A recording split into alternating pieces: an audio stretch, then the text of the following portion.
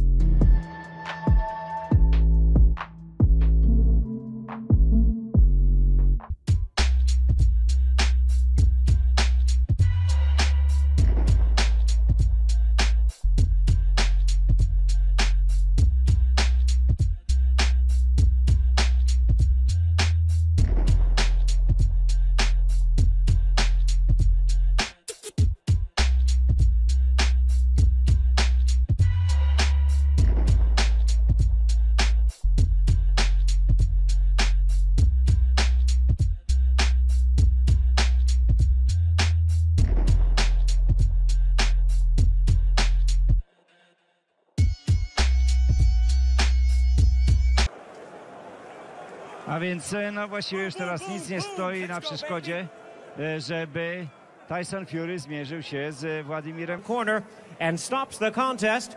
He is the winner by way of technical knockout, still undefeated, and still the WBO International Heavyweight Champion, Tyson. A więc e, po ósmej rundzie sędzia ringowy e, Marcus McDonnell posłuchał s- narożnika Hamera, e, który został wycofany z walki, a więc przez TKO e, wygrywa Tyson Fury. E, pozostaje niepokonany, to jego 24 zwycięstwo, 18 przed czasem.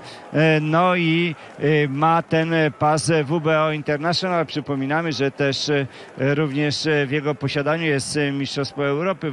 E, e, posłuchajmy jeszcze coś mówi, może z Władimirem Klyczko. Powiedziałem, że zaśpiewam piosenkę po tej e, e, walce. A więc posłuchajmy jego tej piosenki. Put on my blue suede shoes and I boarded the plane. Touchdown in the land of the skies blue in the middle of the pouring rain. WC Memphis. When you look down over me, hey, I got a first class ticket, and I'm as fly as a guy can be. When I was walking in London, I was walking with my feet on the field. I was walking in London, and man, you know how I feel. I want Klitschko next.